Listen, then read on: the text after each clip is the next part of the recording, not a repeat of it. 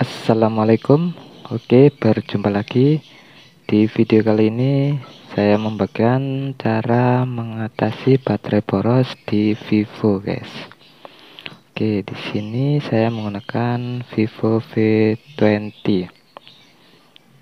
Oke di sini kebanyakan yang sudah up ke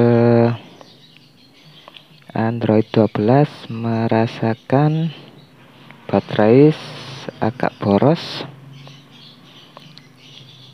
jadi di sini emang sistem ini masih terbilang baru dan masih dalam masa penyesuaian. Jadi wajar kalau terlihat boros.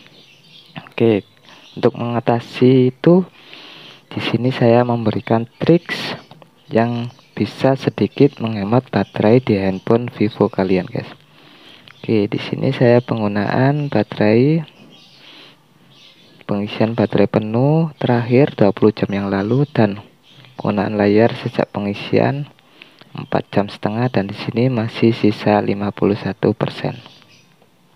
Dan di sini penggunaannya lebih dominan ke sosmed daripada ke main gamenya guys.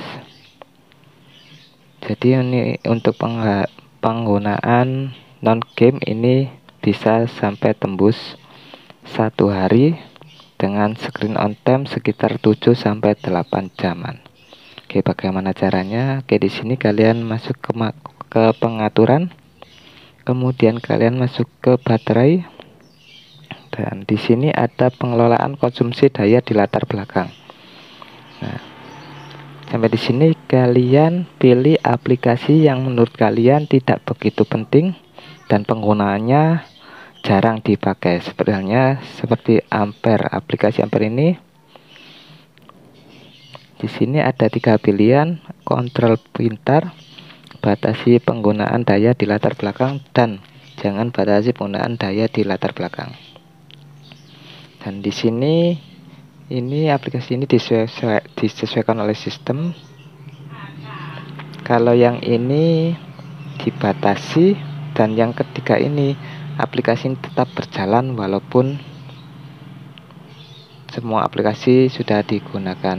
Jadi kalian pilih yang batasi. Untuk aplikasi yang menurut kalian tidak begitu digunakan. Seperti halnya ini. Kita batasi. Seperti ini. Ini pakai kontrol pintar. Ini kita batasi. Dan kalian lakukan semua sesuai yang kalian inginkan. Oke mungkin cukup sekian Semoga bermanfaat. Assalamualaikum warahmatullahi wabarakatuh.